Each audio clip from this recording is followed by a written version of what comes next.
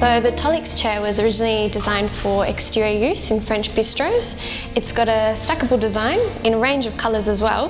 The design also comes in a perforated top and seat or in the standard metal design.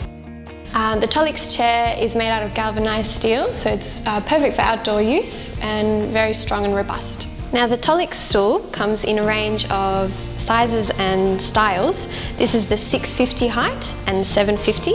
There's the galvanised steel option or perforated as well, so it can suit a range of restaurant and bar needs. There is also an option of a timber seat, um, and for more images you can visit our website.